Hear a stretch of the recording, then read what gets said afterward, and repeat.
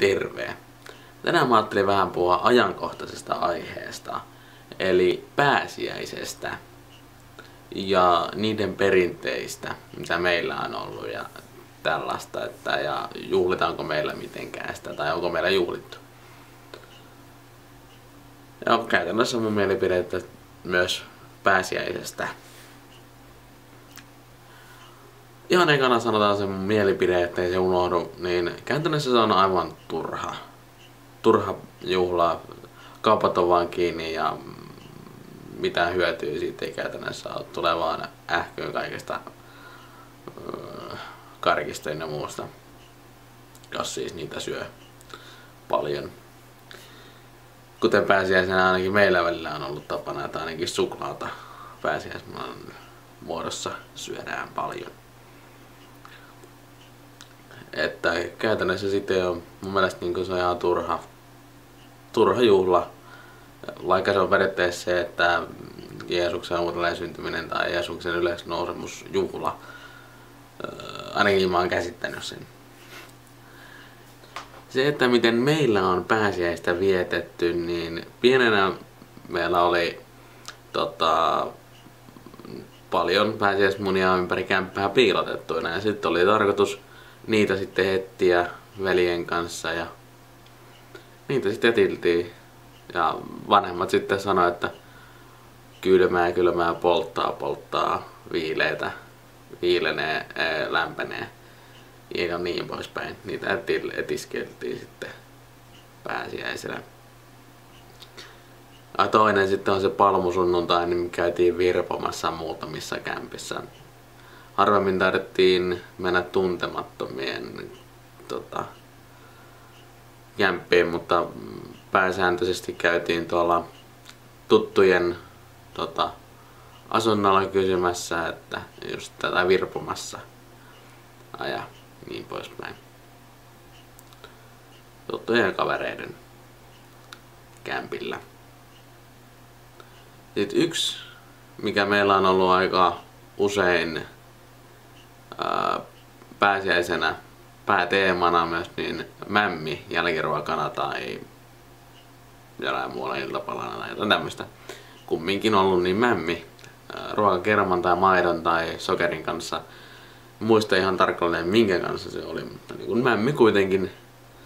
Ja onhan se hyvää, mutta niin kuin pienenä sitä pystyy syömään laatikkotolkulla, varmaan laatikollisen helposti yksin. Mutta nykyään mä viime vuonna kokeilin syödä mämmiä laatikollisen, mutta ei, ei pystynyt, pienenä sen pystyy vetämään päivässä, niin mulla meni kolme päivää vai kaksi päivää ainakin sen syönnissä, että tuli niin nopeasti ähkyyn siitä, kun se on sen verran makeata, makeata herkkua, niin. Ja sitten pääsiäis munista vielä sen verran, että meillä oli niitä joskus etittiin, niin totta kai ne piti sitten syödäkin samana päivänä kun ne löytyi ja saatiin ne. Ja, ja tällä mutta silloin kun mä olin pieni, niin niissä löytyi aina jotain kasattavaa. Aina. Oli harvemmin niitä, että löytyi niin joku, että aha, lelu. Esimerkiksi Mä tässä joku aika sitten ostin näitä rähinä tota, munia.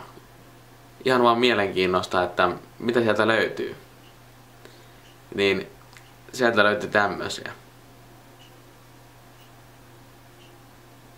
Kaksi avaimen perää, tai niin kun, nämä on siis kahdesta eri tota,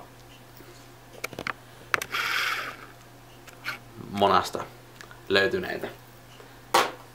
Että noi ei oikein mitään hyviä yllätyksiä mun mielestä. Että ja sitten kun mä ostin tota semmonen liigamunan, sieltäkin löytyi joku semmonen millä mä en edes osannut semmonen pyöreä juttu ja sitten semmonen missä niinku että se jälkeen vissiin ammuttiin tai jotain, niin en mä oikein tajunnut, kun siinä ei ole mitään ohjeitakaan. Ja sitten mä ostin myös semmoisen NHL munana, niin eh, siitä löytyy maila ja kiekko. Että jei.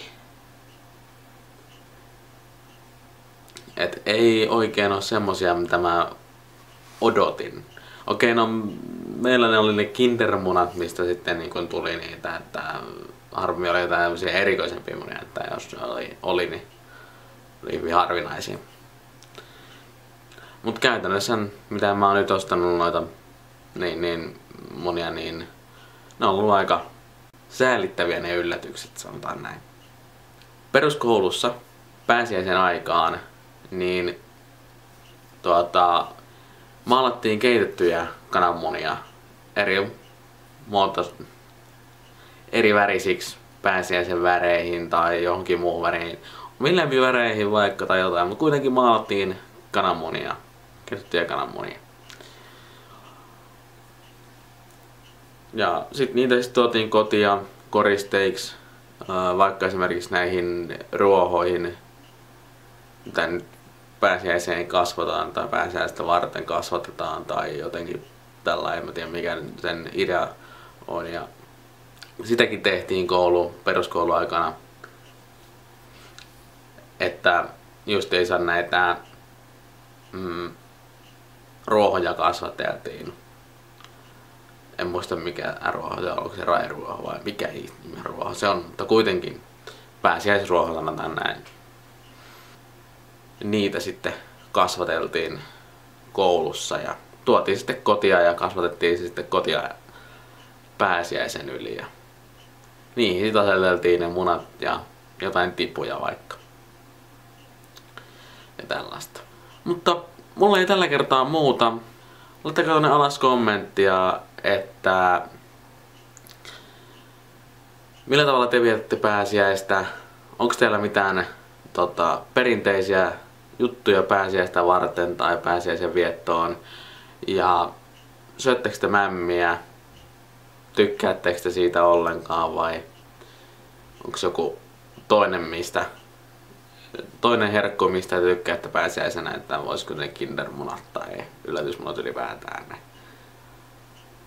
tota, teidän juttu sitten pääsiäisenä. Ja kasvatatteko te sitä rairuohoa tai pääsiäisruohoa? Tällä kertaa ei tosiaan muuta.